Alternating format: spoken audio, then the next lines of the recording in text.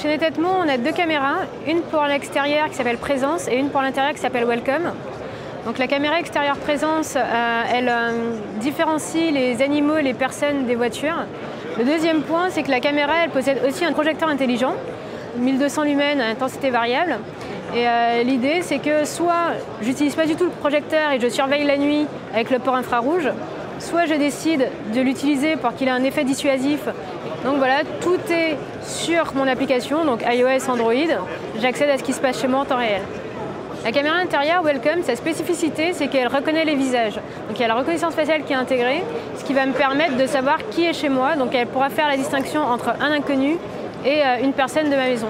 Donc ça, ça permet d'éliminer l'aspect intrusif de la caméra parce que je peux dire à la caméra, euh, quand tu vois une personne connue, inutile de filmer ou inutile d'enregistrer euh, une vidéo. Et euh, là, en fait, c'est lorsque je vais avoir un inconnu, un individu indésirable qui est chez moi, la caméra va se mettre à filmer et m'envoyer une notification pour me dire attention, visage inconnu détecté.